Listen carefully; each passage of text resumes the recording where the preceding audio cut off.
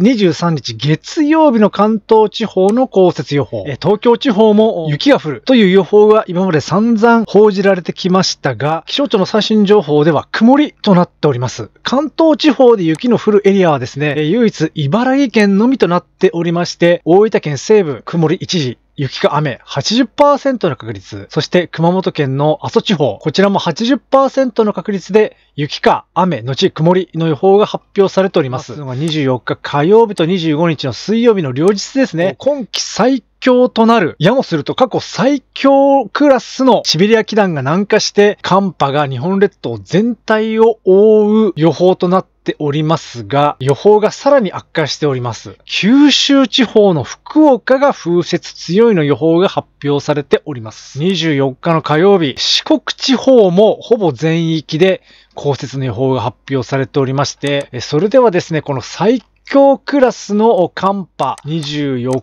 日火曜日の夜9時、そして25日水曜日の朝9時にかけてですね、上空1500メートル付近のマイナス6度の寒気、日本列島全体を包み込む予報となっております。マイナス6度のですね、上空1500メートル付近の気温は、平地でも雪を降らす目安とされている気温となっております。さらには1月25日の朝9時同時刻、上空5000メートル付近のマイナス36度の寒気、こちら大雪をもたらす目安となっておりますが、北海道、東北、北陸地方まで関東地方にかかるかかからないかぐらいの広範囲にわたって上空をすっぽりと包み込んでいるのがお分かりいただけるでしょうか。降雪速報。降雪速報の時間がやってまいりました。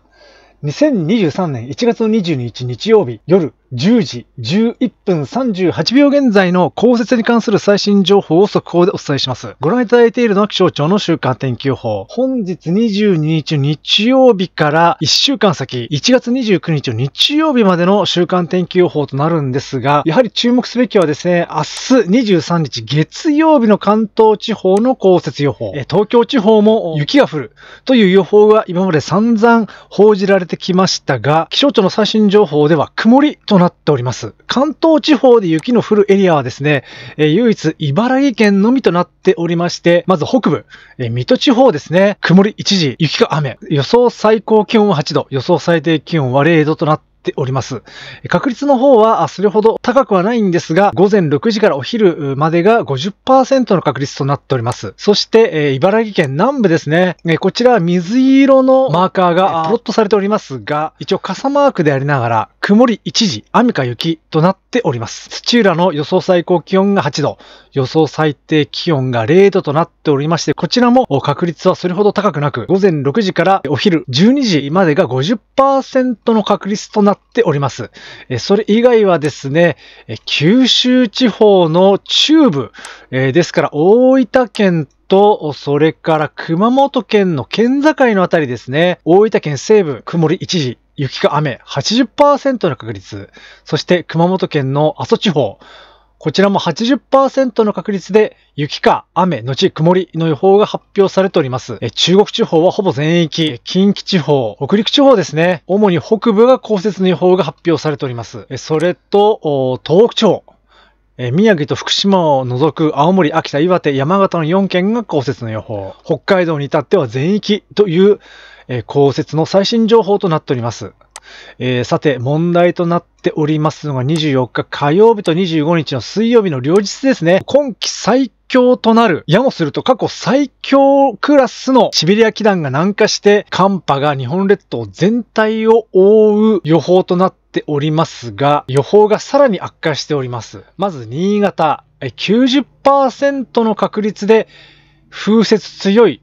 という予報が発表されております他に、福岡でもですね、こちらサムネ画像にも載せましたが、40%の確率で風雪強い。九州地方の福岡が風雪強いの予報が発表されております。そして九州地方全体で見てみるとですね、これ大隅諸島は降雪の予報はなくなりましたが、曇り時々雨で。この宮崎県の北部山沿いですね、40%の確率で曇り一時雪の予報に変わりました。宮崎県の北部、平野部に至っては曇りの予報となっておりますが、ここ以外は九州地方は全域で降雪の予報が発表されております。。24日の火曜日、四国地方もほぼ全域で降雪の予報が発表されておりまして、高知県の東部のみが50%の確率で曇りとなっております。中国地方も広範囲、降雪の予報がないところは広島県と岡山県の山陽地方のみえとなっております。え近畿地方も非常に広い範囲、広範囲で降雪の予報が発表されております。大体は北部なんですが、24日の火曜日に至ってはですね、えー、三重県、奈良県、和歌山県と大阪府もそれぞれ50 10%の確率で曇りのち一時雪の予報が発表されております。えー、今後の最新情報、警戒を強めつつも、注意深くこまめにチェックをなさってください。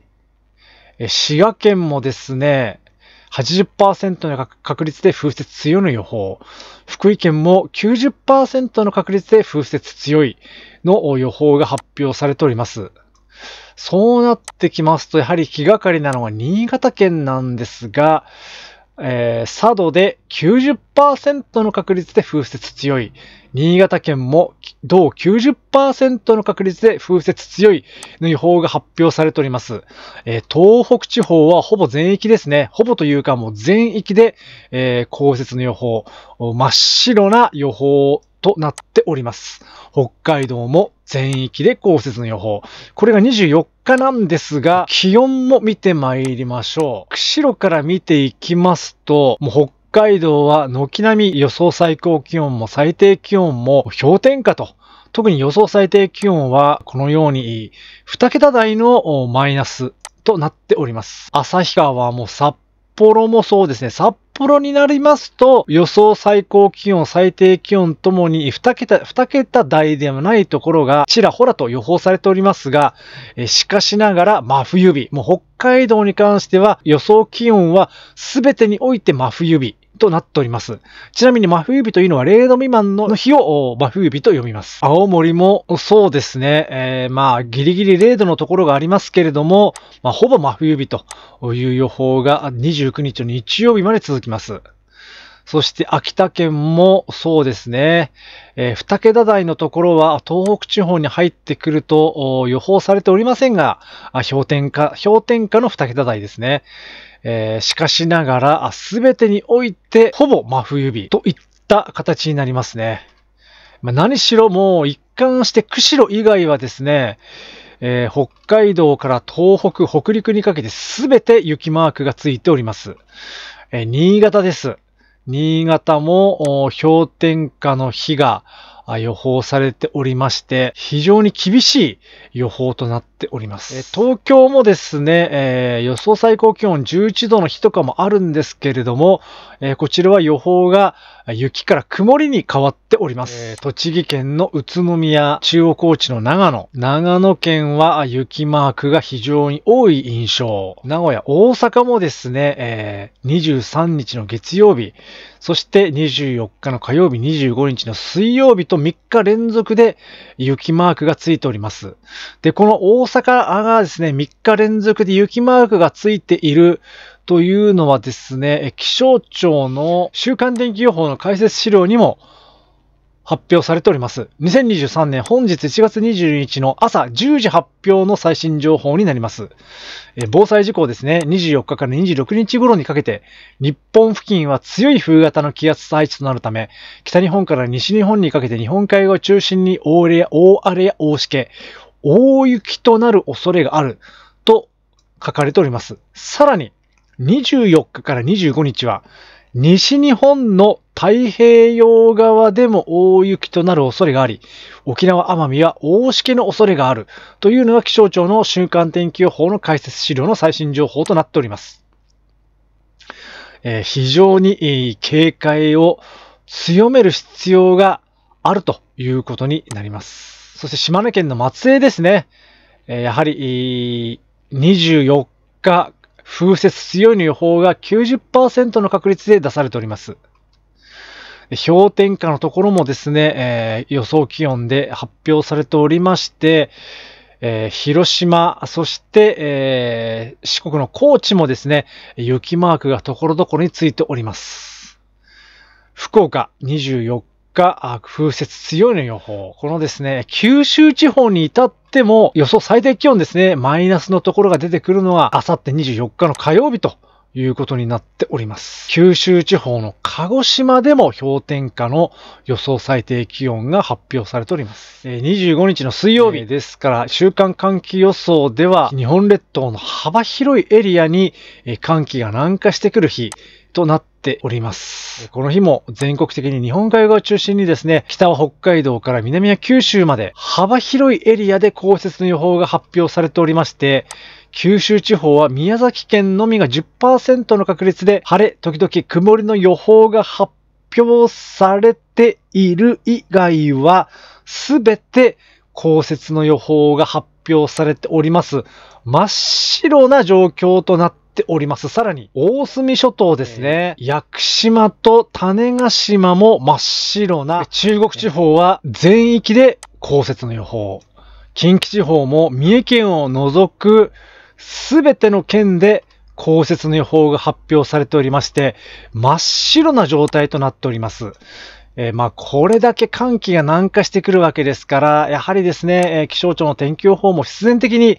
えー、降雪のエリアが広くなるといっったところでありましょうか。え日本海側を中心に北陸地方、それから中国高地、長野県、25日の水曜日は関東地方は栃木県は全域で50%の確率で曇り一時雪の方が発表されております。群馬県北部ですね。みなかみで80%の確率で曇り時々雪。えー、南部は晴れの予報となっております。関東地方。そして東北地方もほぼすべてのエリアで太平洋側を除いて内陸部、内陸部でも降雪の予報。新潟県90%の確率で風雪強い。秋田県90%の確率で風雪強い。青森県90%の確率で風雪強い。北海道の函館80%の確率で風雪強い。札幌80%の確率で風雪強い。旭川80%の確率で風雪強いとなっておりまして、日本海側を中心に非常に厳しい降雪の予報が発表されているのが、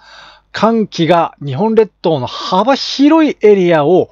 広範囲に包み込む25日水曜日の天気予報となっております。26日になりますとですね、え、九州地方は、あ降雪の予報がなくなりまして、えー、太平洋側はですね、えー、晴れの予報が多くなっております。えー、しかしながら日本海側を中心とした今ご覧いただいているエリアですね、北海道から中国地方の山陰地方まで降雪の予報となっております。27日の金曜日、西から天気が崩れてきておりまして、やはり同じところ、日本海側の地域、幅広いエリアで降雪の予報が続きます。28日の土曜日もほぼ同じですね。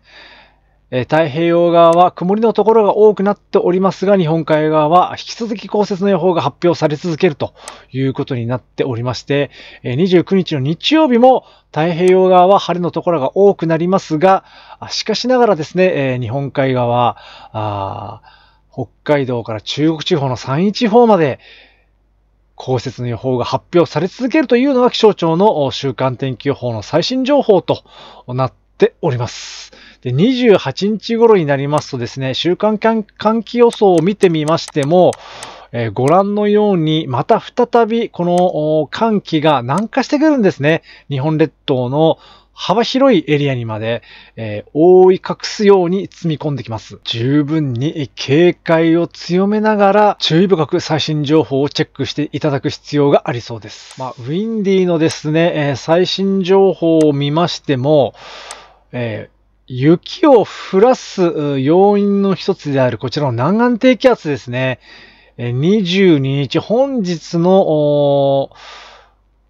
日付が変わる頃から23日にかけて、えー、未明にかけてですね、中心気圧1011ヘクトパスカルの南岸低気圧が九州地方の南から、えー、東北東の方角へ進んで通過していくのがお分かりいただけるでしょうか。で、この南岸低気圧の通過に伴ってですね、やはり日本列島、全国的に幅広いエリアで降雪の予報が発表されております。えー、ウィンディのヨーロッパ中期予報センターの気象モデルをベースとする ECMWF モードになります。